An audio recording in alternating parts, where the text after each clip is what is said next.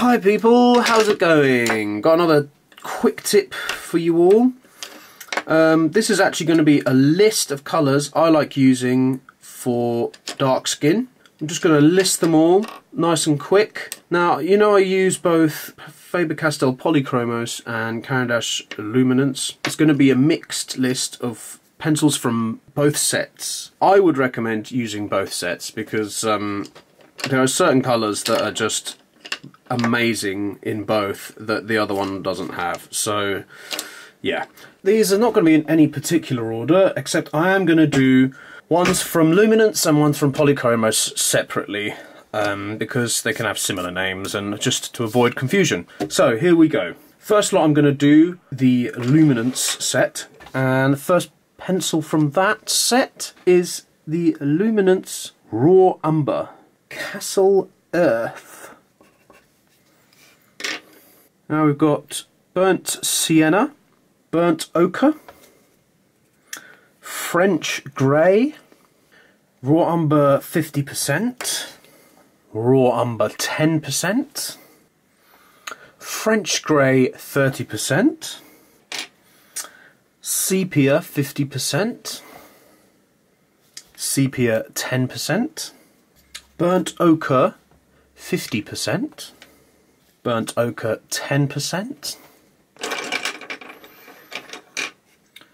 Brown Ochre, Brown Ochre 50%, Brown Ochre 10%, Olive Brown 50%,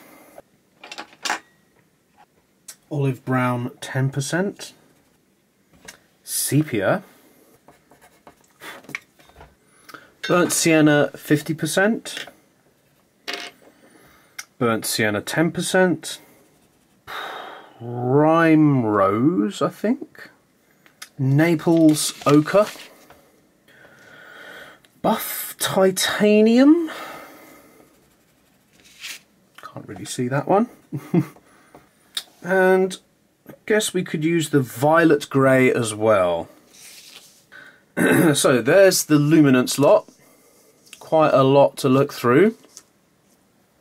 They are very, very, very good for skin tones. There's all kinds of natural, earthy skin tones. Polychromos is a little bit more lacking in comparison, but they do have some very nice uh, tones as well. Okay, so here are the Polychromos pencils that I like to use for darker skin. First of all, let's start with a staple. We have cinnamon, dark sepia, burnt umber, walnut brown, caput mortuum, caput mortuum violet,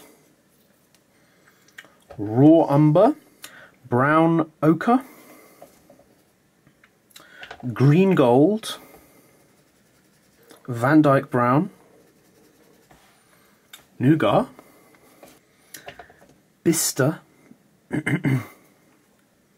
Rotel Sanguine, Burnt Sienna, got Burnt Ochre, Indian Red, Terracotta.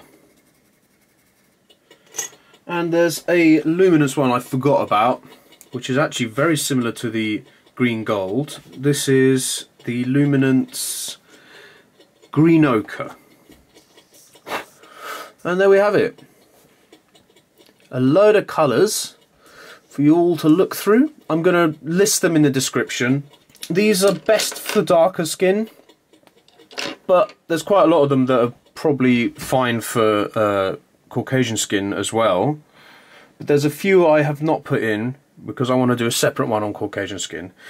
Darker skin has a lot more colour in it and there's a lot more that can be going on. So I thought I'd list those first because you guys have been asking for it for a while.